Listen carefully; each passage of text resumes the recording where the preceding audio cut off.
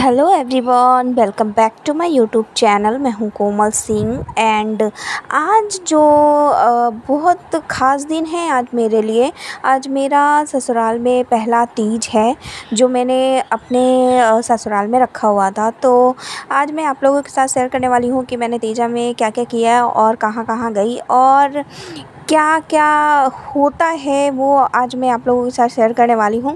तो आइए चलते हैं। देखिए, मैं यहाँ पे रेडी हो गई थी। सुबह का टाइम था ये, तीजा के सुबह का टाइम था मॉर्निंग का टाइम सुबह के सात बज रहे थे तो मैं यहाँ रेडी होकर पहले, सबसे पहले तो मैं यहाँ मंदिर गई। हमारे घर के पास ही शंकर जी का मंदिर था तो शिवलिंग की पूजा करी हमने और यहाँ पर सारे भगवान थे तो मैंने वहाँ की पूजा करी। इसके बाद मैं घर आ गई और हो गया था शाम तो मैं यहाँ पर तीजा की तैयारी करने लग गई थी। तो मैंने अपने सारे जोड़े निकाल लिए थे, मैंने लहंगा निकाल लिया था चूड़ा वगैरह जो भी है, मैं पहन रही हूँ, वो सब।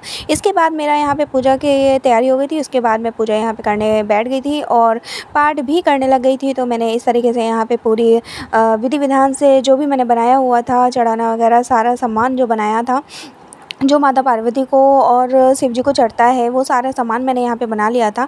यहाँ पे कानपुर में बनी बनाई से ही मूर्ति मिलती है तो मैंने यहाँ पर मूर्ति लगाई हुई थी। आप लोग ये देख सकते हैं कि मैं किस तरीके से यहाँ पे रेडी हुई थी।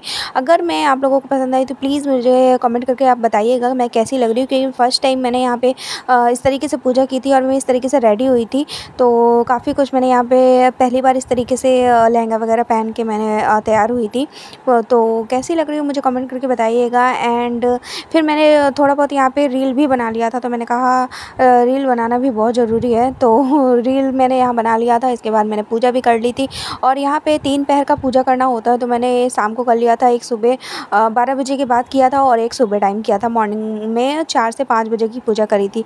तो यहाँ तीजा व्रत मेरा हो चुका था, फिर मैंने पतिदेव के पैर भी पड़े थे और पतिदेव की आशीर्वाद लेने के बाद फिर मैंने इनसे बोला कि मेरे साथ रील बनाओ थी इनको रील बनाना बिल्कुल पसंद नहीं है। तो मैंने इनके साथ एक या दो वीडियो वीडियो मैंने यहाँ बना लिया था, उसके बाद सुबह दूसरे दिन का टाइम था तो मैं दूसरे दिन यहाँ पे पूजा करने के बाद ना शिव जी को सजाने जाते हैं। तो हम, मैं यहाँ पे रेडी हो गई थी और सभी लोग, मेरी फैमिली भी रेडी हो गई थी और हम लोग यहाँ से निकल गए थे शंकर जी, पार्वती जी को विसर्जन करने के लिए, क्योंकि विसर्जन करना भी बहुत ज़रूरी है। तो हम लोग यहाँ से सभी लोग तैयार होकर रेडी होकर निकल गए थे। नदी के लिए तो हम लोग यहाँ पे मस्कन घाट गए थे तो वहाँ पे हम लोगों ने विसर्जित किया था। और सभी लोग गए थे, मैं, भाभी, मम्मी और भैया, अर्नव, सभी लोग गए थे यहाँ पे। तो मस्ती करते हुए शंकर जी को हम लेके गए थे विसर्जन करने के लिए। तो काफ़ी अच्छा लग रहा था, काफ़ी अच्छा माहौल था और हम लोग पहुँच चुके थे मस्कन घाट। तो मेरे घर से थोड़ा सा दूर ही पड़ता है तो हम लोगों को कार से ही जाना पड़ा था। पास में यहाँ घाट कहीं नहीं है, कानपुर में बहुत ही दूर दूर है।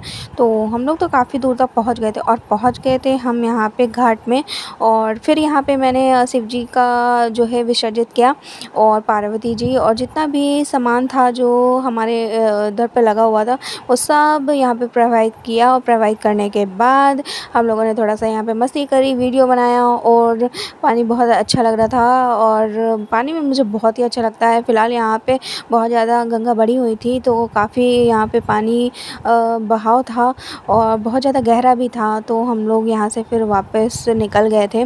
विसर्जन करने के बाद हम लोगों ने गंगा जल भी ले लिया था, सभी लोगों ने, और फिर हम निकल निकल चुके थे अपने घर के लिए। चलिए, मेरा ब्लॉग अगर आप लोगों को पसंद आए तो प्लीज़ मुझे कमेंट करके बताइएगा।